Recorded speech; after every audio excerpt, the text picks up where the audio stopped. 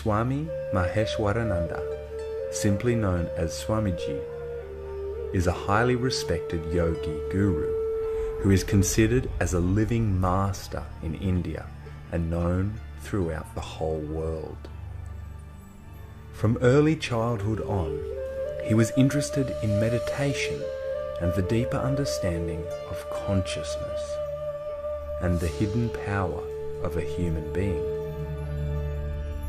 His uncle Paramhans Swami Madhavananda, who was his living teacher and master, guided him to strict yogic exercises and meditation. At the age of 17, Swamiji attained the state of self realization. He described it as if suddenly thousands of suns arise within the self. No part of the consciousness is left in darkness anymore. Ever since that day, he is assisting as many people as possible around the world to reach the state of self realization through the practice of yoga. According to Swamiji, yoga is not just a system of stretching and physical exercises to stay healthy and beautiful, like it is often presented in the Western world.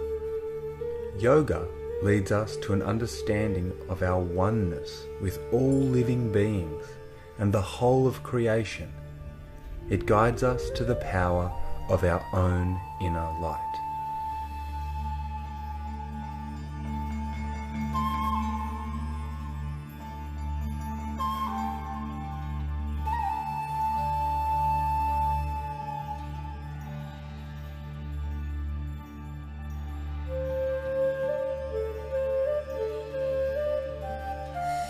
Swamiji founded the scientific system Yoga in Daily Life to help people on their personal and spiritual path.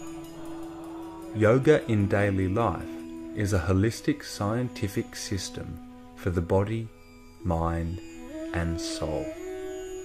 It has hundreds of centres around the world, organised in a non profit way, to learn and to teach the correct way of ancient yoga that has been passed down from master to disciple for thousands of years.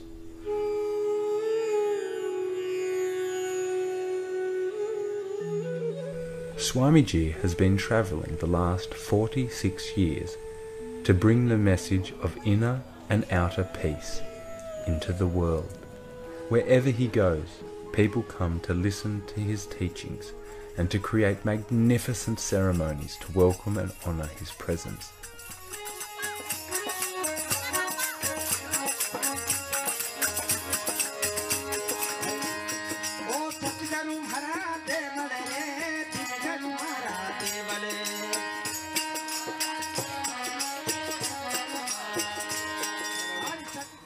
He is equally invited to private families and local communities, as well as to significant conferences around the world.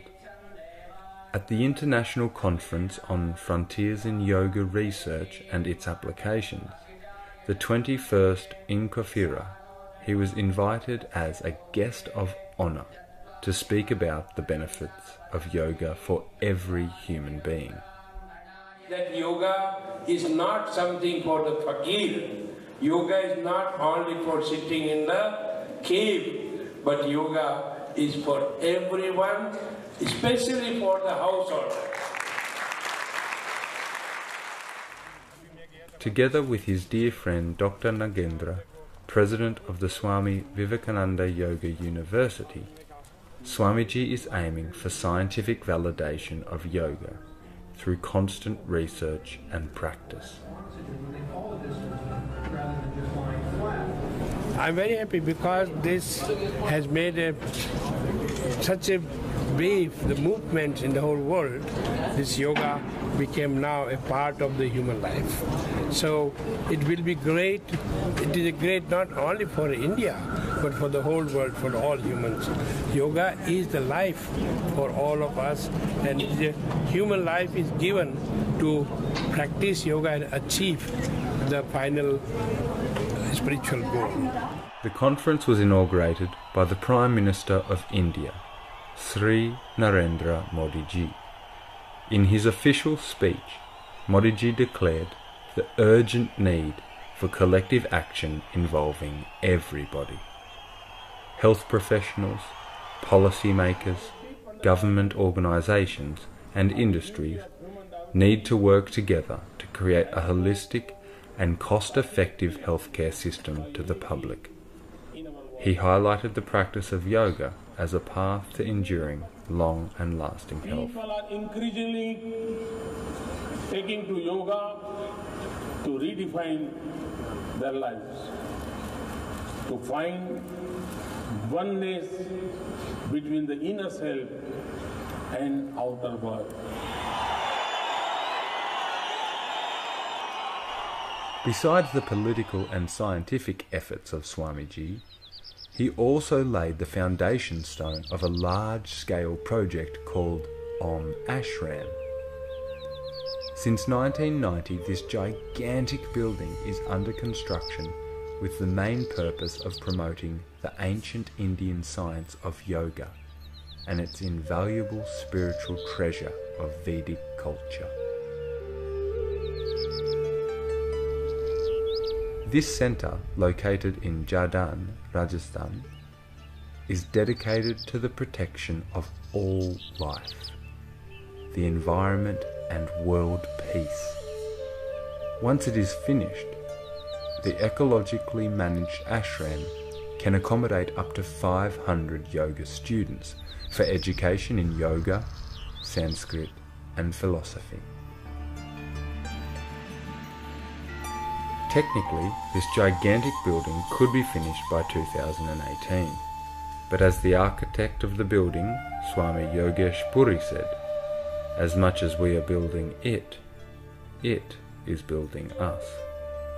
So, only the divine principle knows when exactly the project will be finished.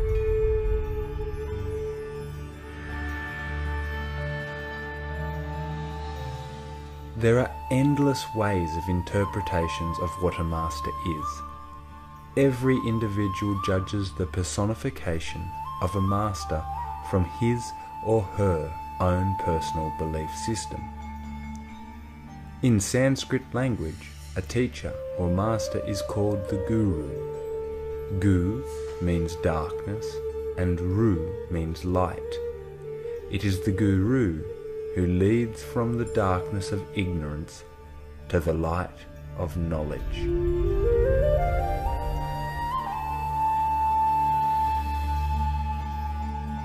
Many come to seek answers and blessings and consult Swamiji for his advice.